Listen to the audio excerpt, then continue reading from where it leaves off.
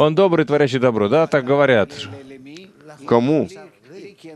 Мне, мне, да, мне. тебе нет. Но что значит отдавать? Ведь он хочет привести меня к отдаче, как он сам. Да. Почему он не включает меня в свои мысли Он по хочет, пути? он хочет включить, но ты не хочешь учиться. Он хочет включить, но что можно сделать? Это то, что мы изучаем. Он хочет включить нас во всю деятельность. Вся наша работа — это раскрыть Творца. Это называется прийти к служению Творцу. Раскрыть, каковы его действия.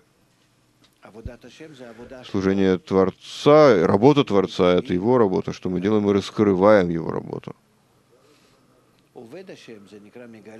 Служащий Творцу — это называется раскрывающий работу Творца.